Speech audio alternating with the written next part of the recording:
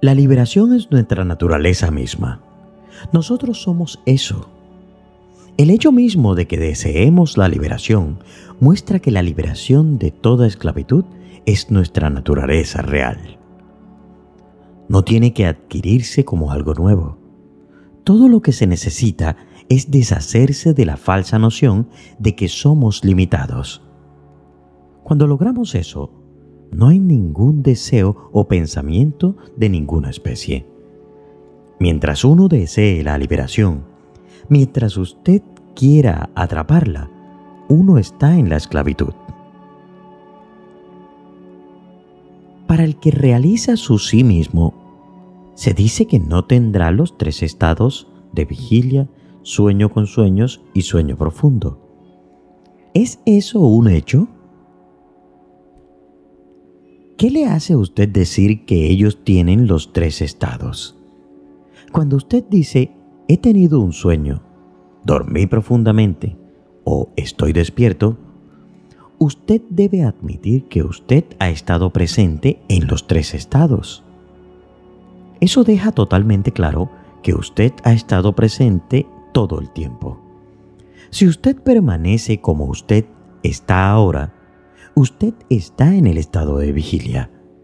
Este deviene oculto en el estado de sueño con sueños. Y el estado de sueño con sueños desaparece cuando usted está en el sueño profundo. Usted ha estado presente entonces, usted está presente ahora y usted está presente en todos los tiempos. Los tres estados vienen y van, pero usted está siempre presente. Es como un cine. La pantalla está siempre presente, pero la multitud de los tipos de imágenes aparecen sobre la pantalla y después desaparecen. Nada se pega a la pantalla. Ella sigue siendo una pantalla. Similarmente, usted sigue siendo su propio sí mismo en los tres estados. Si usted conoce eso, los tres estados no le perturban. Lo mismo que las imágenes que aparecen sobre la pantalla no se pegan a la pantalla. Sobre la pantalla usted a veces ve un imponente océano con enormes olas sin fin. Después desaparecen. En otra ocasión, usted ve un fuego devastador creciendo en todo su alrededor. Después también desaparece. La pantalla está presente en ambas ocasiones. ¿Se ha mojado la pantalla con el agua o se ha quemado con el fuego? Nada ha afectado a la pantalla. De la misma manera, las cosas que acontecen durante los estados de vigilia, sueño con sueños y sueño profundo no le afectan a usted en lo absoluto.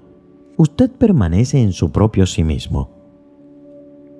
¿Significa eso que aunque las gentes tienen los tres estados, vigilia, sueño con sueños y sueño profundo, ¿estos no le afectan?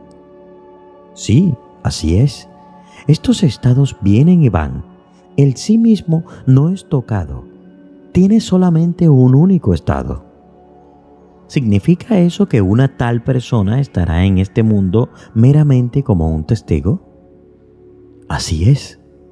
Para esta misma cosa, Vidyaranya, en el décimo capítulo del Panchadasi, da como ejemplo la luz que ilumina el escenario de un teatro. Cuando se está representando el drama, la luz está presente. La luz, la cual ilumina sin ninguna distinción a todos los actores, bien sean reyes o siervos o danzarines, y también a toda la audiencia. Esa luz está presente antes de que comience el drama, durante la representación y también después de que la representación ha terminado. Similarmente, la luz de dentro, es decir, el sí mismo, da luz al ego, al intelecto, a la memoria y a la mente sin estar él mismo sujeto al proceso del crecimiento y del declive. Aunque durante el sueño profundo y en otros estados no hay ninguna sensación del ego, ese sí mismo permanece sin atributos y continúa brillando por sí mismo. En realidad, la idea de que el sí mismo está siendo el testigo está solamente en la mente, no es la verdad absoluta del sí mismo. Presenciar es relativo a los objetos presenciados. Tanto el testigo como el sujeto son creaciones mentales. ¿Cómo son los tres estados de conciencia inferiores en grado de realidad al cuarto, Turilla? ¿Cuál es la relación actual entre estos tres estados y el cuarto? Espera, si has llegado hasta aquí es porque te ha gustado el video, así que déjamelo saber dejándome un me gusta en este video. Ahora sigamos. Hay solamente un único estado, el de conciencia o presencia conciencial o existencia. Los tres estados de vigilia, de sueño y de sueño profundo no pueden ser reales, simplemente vienen y van. Lo real existirá siempre Solo el yo o existencia que persiste en los tres estados es real. Los otros tres no son reales, así que no es posible decir que tengan tal o cual grado de realidad. Podemos ponerlos más o menos así. La existencia o conciencia es la única realidad. La conciencia más la vigilia lo llamamos vigilia. La conciencia más el sueño profundo lo llamamos sueño profundo. La conciencia más el sueño con sueños lo llamamos sueño con sueños. La conciencia es la pantalla sobre la cual todas las imágenes vienen y van. La pantalla es real, las imágenes son meras sombras sobre ella. Debido a que por causa de un largo hábito nosotros hemos estado considerando estos tres estados como reales, llamamos al estado de mera presencia o conciencia el cuarto. No hay, sin embargo, ningún cuarto estado, sino solamente un único estado. No hay ninguna diferencia entre el estado de sueño con sueños y el estado de vigilia, excepto que el sueño es corto y la vigilia es larga. Ambos son el resultado de la mente. Debido a que el estado de vigilia es largo, nosotros imaginamos que es nuestro estado real.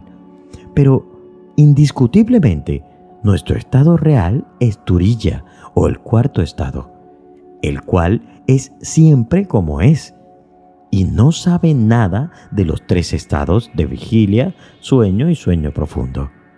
Debido a que nosotros llamamos a estos tres abastas, estados, llamamos el cuarto estado también Turilla Abasta.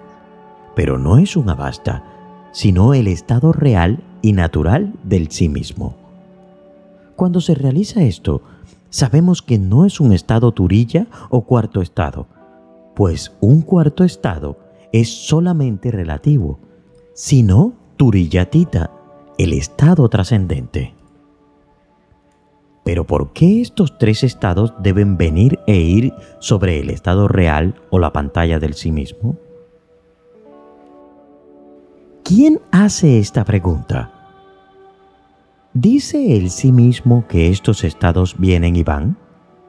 Es el vedor quien dice que estos tres estados vienen y van. El vedor y lo visto juntos constituyen la mente. Vea si hay una cosa tal como la mente. Entonces la mente se sumerge en el sí mismo y no hay ni el vedor ni lo visto. Así pues, la respuesta real a su pregunta es, ellos no vienen ni van, solo el sí mismo permanece, lo que siempre es. Los tres estados deben su existencia a la no indagación y la indagación les pone fin por mucho que se explique el hecho, no se aclara hasta que uno alcanza la realización del sí mismo y se pregunta cómo estuvo tan ciego durante tanto tiempo a la existencia única y autoevidente. ¿Cuál es la diferencia entre la mente y el sí mismo? No hay ninguna diferencia. La mente vuelta hacia adentro es el sí mismo. Vuelta hacia afuera deviene el ego y la totalidad del mundo. El algodón convertido en diferentes vestidos, nosotros lo llamamos por diferentes nombres. El oro convertido en diferentes ornamentos, lo llamamos por diferentes nombres. Pero todos los vestidos son algodón y todos los ornamentos son oro. El uno es real, los muchos son meros nombres y formas. Pero la mente no existe aparte de sí mismo. Es decir, no tiene ninguna existencia independiente. El sí mismo existe sin la mente. La mente jamás existirá sin el sí mismo. Se dice que Brahman es Sat Chit Ananda. ¿Qué significa eso? Sí, eso es así. Eso que es es solamente Sat. Eso que es llamado Brahman. El lustre de Sat es Chit y su naturaleza es Ananda. Estos no son diferentes de Sat. Los tres juntos se conocen como Sat, Chit, Ananda. Ser, conciencia, felicidad. Como el sí mismo es existencia, Sat, y conciencia, Chit, ¿cuál es la razón para describirlo como diferente de lo que existe y de lo que no existe? ¿De lo sintiente y de lo insintiente? Aunque el sí mismo es real, como comprende todo, no deja ningún resquicio para preguntas que impliquen dualidad sobre su realidad o irrealidad. Por lo tanto se dice que es diferente de lo real o de lo irreal. Similarmente, aunque es conciencia, puesto que para él no hay nada que conocer o a lo que hacerse conocido, se dice que es diferente de lo senciente o de lo insensiente. Sat Chit Ananda se dice para indicar que lo supremo no es Asat diferente del ser, ni a Chit diferente de la conciencia, ni a Ananda diferente de la realidad. Pero debido a que nosotros estamos en un mundo fenoménico, hablamos de él sí mismo como Sat Chit Ananda. ¿En qué sentido es la felicidad o la dicha, Ananda, nuestra naturaleza real? La felicidad perfecta es Brahman. La paz perfecta es del sí mismo. Solo eso existe y es conciencia. Eso que llama felicidad es solamente la naturaleza del sí mismo. El sí mismo no es otro que felicidad perfecta. Solo existe eso que es llamado felicidad.